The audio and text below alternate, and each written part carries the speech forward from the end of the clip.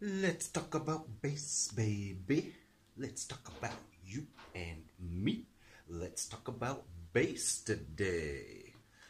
Hello, interesting people from interesting places. I'm Aerius Fury, and today we're going to talk about two basic skills, two very important skills, especially for beginners, if you are just getting into the bass.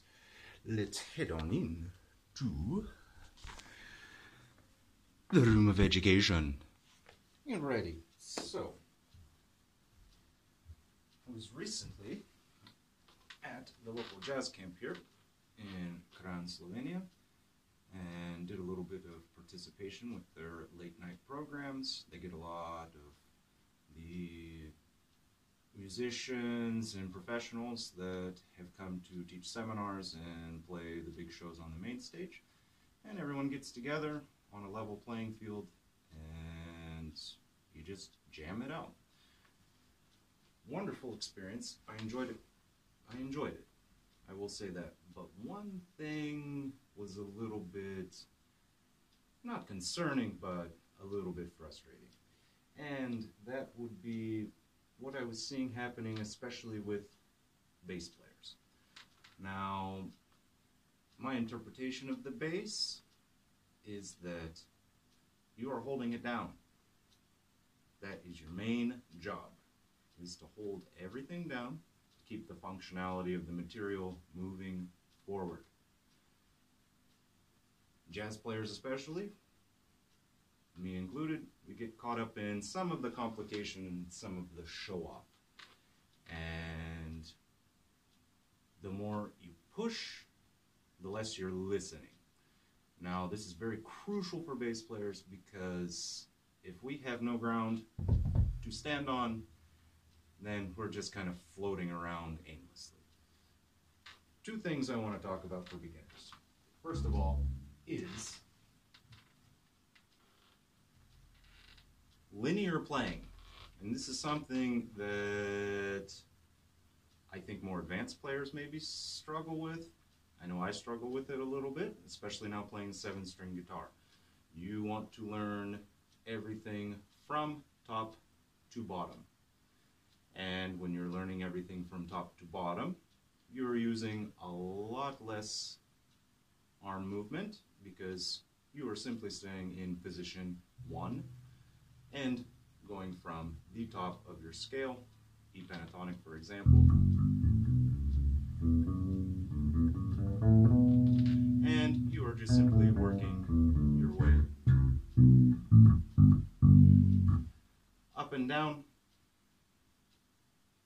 as far as height,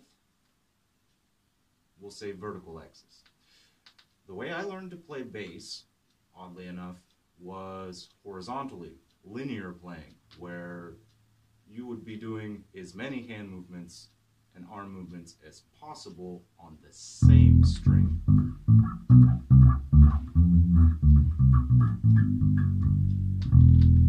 Now, there's plenty of debate on which would be correct. I say do whatever's comfortable. But one thing I do enjoy about linear playing is that you are then opening yourself up to step number two, which is your octave work. You can, of course, use octaves if you're playing vertical fashion, but if you're playing linear, everything is laid out right in front of you, absolutely no problem. The octaves we'll talk about, you are going one full step from your main pointer finger position, one full step, and come down two strings. This is a very, very, very common octave pattern. Now, one interesting thing when you're playing linear, it doesn't matter where you go, if you're on the E, E string, or on the A string, same thing.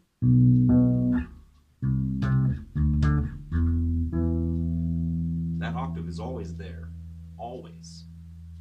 Doesn't matter where you want to go, you're always going to have that octave one step up, two strings down.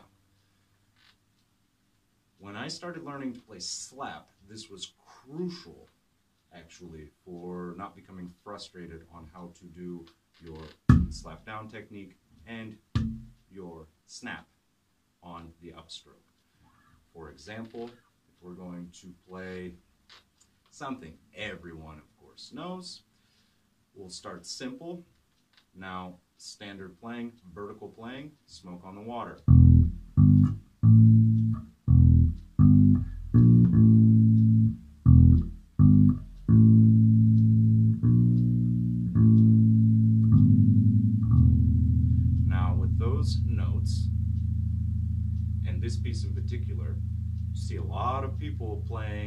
It in the beginning completely vertically, horizontally, excuse me. So what then happens is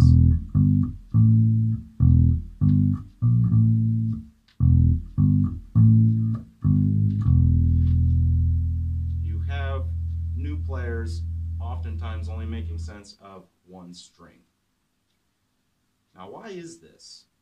Well, I think because it eliminates a whole lot of complication and a whole lot of thinking, especially if you're not familiar with all of your notes all the way across. Again,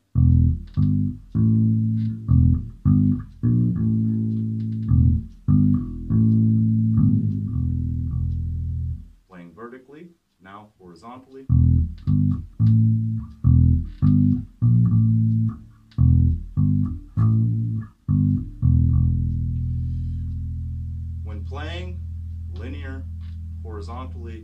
You can simply do more work with just one finger. Now, bringing octaves into the situation, it's going to be a lot more complicated to find your octaves if you're going to be playing in your vertical fashion, which would be, I would say, where every musician wants to be. But it seems to me it's a little more fun and a little bit more logical to know how to play linear and how to use your octaves effectively. So we're going to go E, G, A, B, and D sharp. And I'm going to do a little lick just simply showing how octaves work when you're doing linear playing.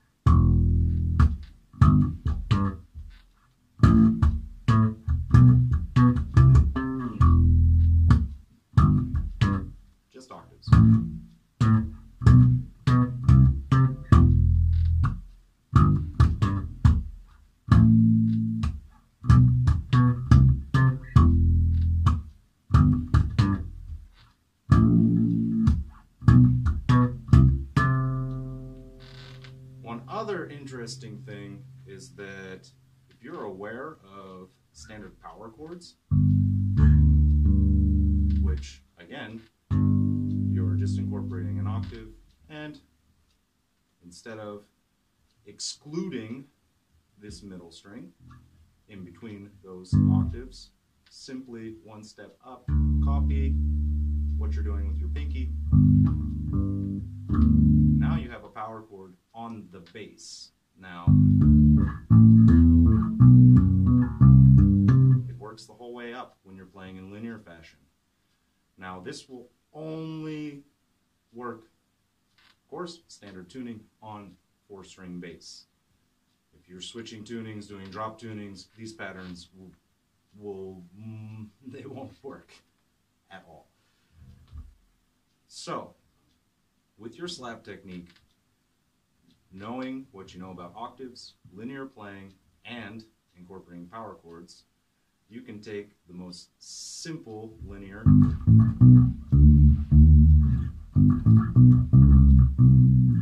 and you can add in a whole lot of notes without having to walk around vertically.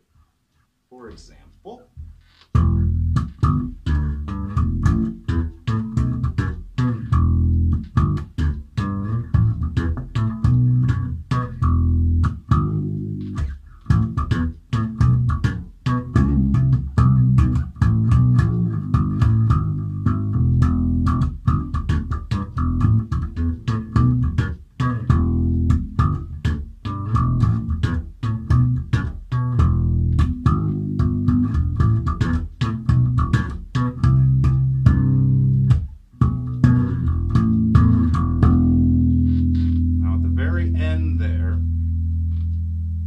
switching from your standard, again, we'll talk horizontal and vertical, horizontal thumb technique for traditional jazz slap, and switching it to more of a, I've seen this from Flea, also from,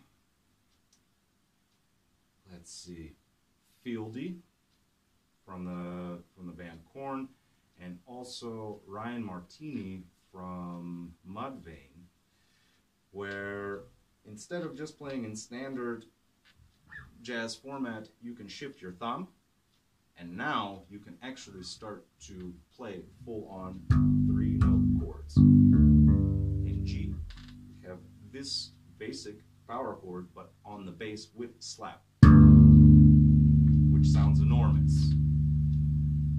Instead of just sitting around and plucking around on your lowest string or switching between that or playing an octave, start incorporating full chords with your bass playing.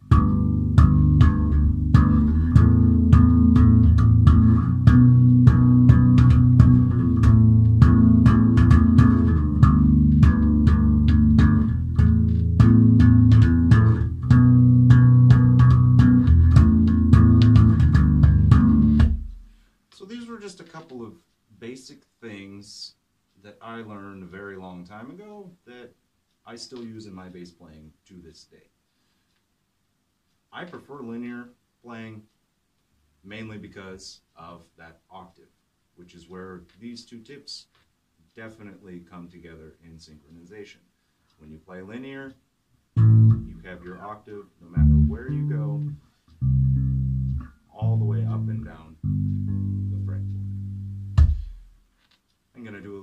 jam for you. I'm going to do that in a sec separate segment so that this video is not stretching out too long. I'd like to do a few more tutorials like these. Just things that I learned when I was much younger. Because I think the more we complicate, the harder it is to play together. All right, I'm Aerius Fury. That's going to conclude it for this episode. All right, I'm going to go ahead and jam out a little bit on linear playing and octaves for you guys. Let's get it.